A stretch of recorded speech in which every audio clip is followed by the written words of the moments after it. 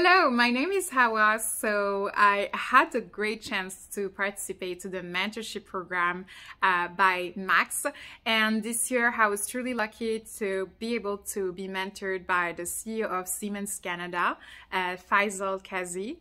Um, so I would say a great highlight of my program and my journey as a mentee was when I had the chance to experience the day um, of a CEO. So I had the chance to um, uh, share um, my day with uh, Faisal and see like, you know, what it's like to work as a CEO.